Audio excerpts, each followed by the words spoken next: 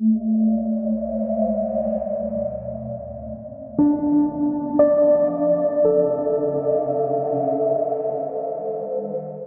datang kembali di video Nerd in.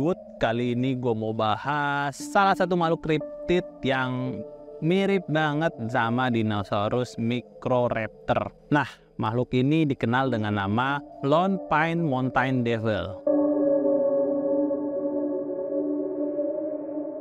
Beberapa dinosaurus berbulu memiliki bentuk fisik yang menyerupai burung. Salah satunya ialah dinosaurus Microraptors yang memiliki empat sayap di masing-masing kakinya. Salah satu jenis Microraptors yang paling populer ialah Sinoritosaurus yang dikenal memiliki ciri fisik yang khas seperti burung dan diduga berbisa melihat dari fosil rahang yang ditemukan dari dinosaurus ini. Dan yang menarik adalah kita akan membahas makhluk kriptid yang sangat mirip dengan ciri dari Sinoritosaurus yang berasal dari Lone Pine Mountain, Amerika Serikat.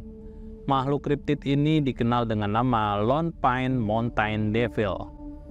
Lone Pine Mountain Devil adalah karnivora bersayap dari cerita rakyat Amerika Utara Salah satu catatan awal yang ditulis oleh seorang pendeta menggambarkan hewan ini sebagai setan bersayap yang dikirim dari dalam neraka. Lone Pine Mountain Devil juga disebut sebagai California Mountain Devil. Hewan ini dikatakan sebagai makhluk yang mirip dengan Microraptors yang diyakini menghuni hutan belantara dan daerah pegunungan di Amerika Barat Daya dan Meksiko Utara. Lone Pine Mountain Devil biasanya digambarkan sebagai kadal besar berbulu seperti burung, memiliki empat sayap dengan cakar yang tajam seperti pisau cukur, serta gigi yang memiliki taring berlapis-lapis dan berbisa. Lah, dari ciri fisiknya ini mirip banget sama dinosaurus Picroraptors tadi ya. Dan Lone Pine Mountain Devil ini dianggap ya sebagai gabungan dari cerita rakyat rakyat dan salah identifikasi oleh para peneliti ilmiah. Kalau hewan liar biasanya berburu itu kan ya memang untuk memangsa korbannya gitu ya, ya memang buat santapan atau makanannya gitu. Jadi kayak memang kebutuhan pokok. Tapi kalau Lone Pine Mountain Devil ini dikatakan berburu untuk bersenang-senang gitu. Hewan kriptid ini dikatakan memang suka untuk membunuh apa pun yang dia lihat. Serangan ke korbannya dilakukan untuk bersenang-senang dengan memainkan cakarnya di area tulang rawan lunak di wajah dan dada korban, lalu membiarkan sisa daging dari korbannya untuk membusuk atau dimakan hewan lain. Kisah tentang Lone Pine Mountain Devil ini pertama kali diceritakan oleh para pemukim awal dari Eropa yang pindah ke benua Amerika.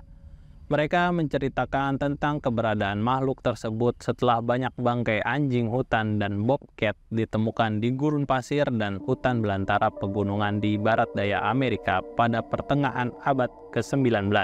Tidak diketahui kapan dan siapa pertama kali yang menciptakan nama Lone Pine Mountain Devil. Hewan kriptid ini menjadi legenda ketika para pemukim menceritakan kisah mereka satu sama lain tentang penemuan konvoi pengembara dan pencari emas yang meninggal dalam keadaan mengenaskan. Wajah para korban tidak dapat dikenali dengan batang tubuh mereka yang telah dimakan sampai ke tulang. Sejak awal tahun 1900-an, jumlah penampakan Lone Pine Mountain Devil telah menurun secara signifikan. Beberapa orang mengaitkan hilangnya hewan yang diduga sebagai hewan buas ini dengan masuknya populasi besar-besaran dari Eropa pada awal abad ke-20 ke wilayah California Selatan, yakni wilayah Los Angeles dan San Diego.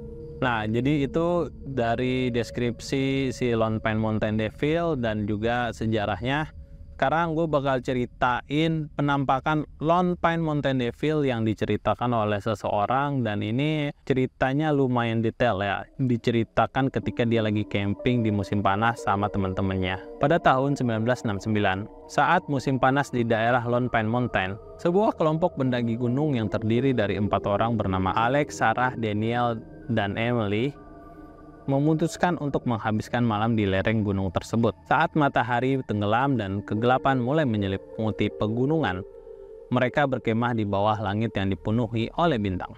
Namun, ketenangan malam itu terganggu oleh suara-suara aneh yang mereka dengar dari kegelapan hutan. Suara gemuruh aneh dan desiran yang tak biasa membuat mereka merasa tidak nyaman. Ketika mereka duduk di sekitar api unggun, mata mereka tertuju pada sesuatu yang bergerak di kegelapan. Di antara dedaunan pohon yang bergoyang, ada siluet yang aneh. Alex yang paling dekat dengan pohon-pohon itu memandang dengan perasaan campur aduk. Ada sesuatu yang bergerak di antara pepohonan tersebut. Saat mereka terus memperhatikan, siluet itu semakin jelas. Itu bukan hanya bayangan atau hewan kecil. Ada bentuk yang lebih kompleks dengan gerakan yang mirip dengan burung atau bahkan dinosaurus. Namun, apa pun itu, makhluk itu semakin mendekat. Dan ketika cahaya api unggun menerangi bagian tubuh makhluk itu yang sebelumnya tersembunyi dalam gelap, mereka terperanjat bahwa itu bukanlah sesosok makhluk yang mereka kenal. Makhluk itu memiliki ciri-ciri fisik yang mirip dengan Microraptors atau Sinoritosaurus dinosaurus dengan bulu-bulu halus seperti burung. Mereka takut untuk bergerak atau bersuara, takut akan reaksi dari makhluk itu jika merasa terancam. Makhluk itu hanya mengintai dari jarak yang aman, seperti mempelajari para pendaki gunung ini dengan rasa ingin tahu yang sama seperti mereka rasakan terhadap makhluk itu. Namun seketika hewan itu berlari masuk ke dalam gelapnya hutan ketika suara dari rusa bergerak cepat di belakang makhluk tersebut. Jadi ketika mereka melihat makhluk ini pergi ninggalin mereka untuk ngejar rusa yang lari tadi, mereka segera bergegas untuk membereskan peralatan dan tenda mereka gitu. Mereka segera bongkar semua tenda mereka karena mereka kan takut kan ya kalau si makhluk ini balik lagi dan akhirnya menyerang para pendaki ini gitu. Malam itu juga mereka meninggalkan Lone Pine Mountain dengan pengalaman yang sulit dipercaya. Nah, jadi itu cerita dari Alex dan kawan-kawannya. Kalau menurut kalian Lone Pine Mountain Devil ini apakah memang benar Microraptors yang masih tersisa atau adalah makhluk yang salah lihat oleh Alex dan kawan-kawannya? Itu kembali ke persepsi kalian masing-masing. Untuk video Nerd in the Wood ke kali ini sampai di sini aja. Kalian yang mau request silahkan tulis di kolom komentar. Gue doain selalu kalian buat sehat selalu dan bahagia selalu. Sampai jumpa lagi di video selanjutnya dari video Nerd in the Woods. Bye bye.